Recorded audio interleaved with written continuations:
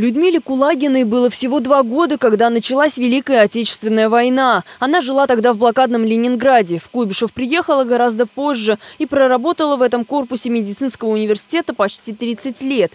Трудилась старшим преподавателем на кафедре биологии и генетики. В военное время именно здесь размещался Эвако-госпиталь. Значение медиков нельзя выразить вот одним словом. Это подвиг. Что сейчас? Вы знаете – что во время войны врачи никогда не щадили себя.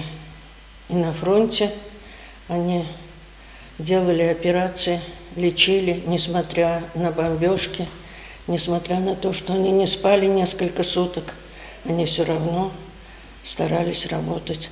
Медицинские работники с первых дней войны спасали бойцов, вытаскивали раненых с поля боя, оперировали по несколько суток без сна. В военные годы в Куйбышеве развернулось 54 эвако-госпиталя. В них пролечили около 180 тысяч человек. Одним из главных госпиталей был госпиталь на базе клиник медицинского университета. А, этот госпиталь, а, так сказать, объединял крупнейшие врачебные кадры – но они же и э, бывали в госпиталях других, их ученики работали в других госпиталях. И э, нужно сказать, что вот особенности и достижения самарских хирургов были в том, что процент смертности был крайне низок. Напомним, на днях президент Владимир Путин присвоил Самаре почетное звание «Город трудовой доблести». Этот статус – заслуга жителей военного Куйбышева, в том числе врачей и санитаров, которые в годы Великой Отечественной войны не жалели себя ради общей победы. Всего такое звание получили 20 российских городов.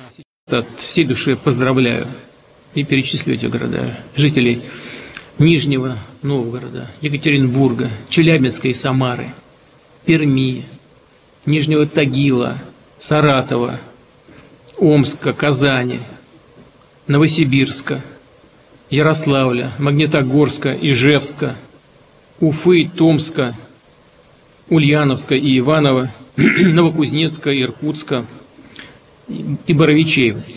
Только что тоже о них было сказано. Я хочу пожелать всем вам здоровья, всем жителям этих городов новых трудовых свершений. Именно Куйбышев в годы войны стал запасной столицей. Сюда эвакуировали правительство, Верховный Совет СССР, дипломатический корпус, Большой театр, симфонический оркестр Всесоюзного радио, Ленинградский драматический театр и многие заводы. Этот статус э, наш город э, заработал в годы Великой Отечественной войны. Э, ну, общеизвестный факт, что город Куйбышев э, внес значительный вклад в ускорение победы. Сюда переехали предприятия из э, западных территорий Советского Союза. Здесь они разворачивались в боевых условиях, потому что вы знаете, что выпуск деталей и вооружений самолетов начинался еще до того, как появлялись стены цехов этих предприятий. Сравнительно небольшой до войны город с населением в 390 тысяч человек принял огромное количество эвакуированных. В сентябре 1941 года в Куйбышеве проживало уже около 700 тысяч жителей. Кроме того, в регион переправили почти полторы тысячи организаций, в том числе 60 крупных промышленных предприятий. Мария Илчан, Сергей Баскин. События.